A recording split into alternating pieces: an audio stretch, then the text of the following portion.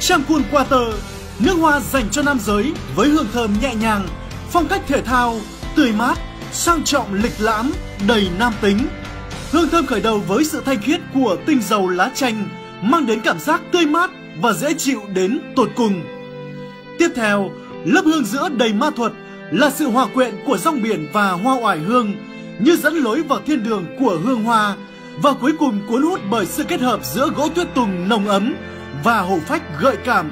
Cùng với cây hoắc hương mạnh mẽ tạo nên sự quyến rũ một cách kỳ diệu là một tuyệt tác cho sự lựa chọn tuyệt vời thích hợp khi đi làm khi hẹn hò hoặc thậm chí có thể được dùng khi tham gia các sự kiện trong mùa hè.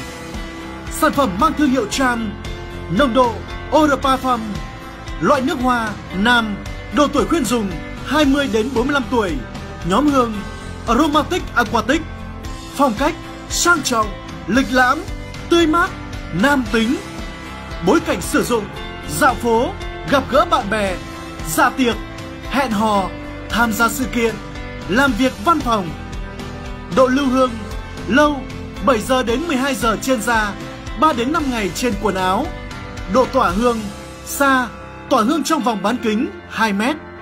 Dung tích 50ml Cách sử dụng Xịt ở vùng cổ tay, nhượng gót chân, nách, cổ, ngực, sau gáy tai. Champerfam Quyến rũ từng giây, thơm lâu tuyệt đỉnh.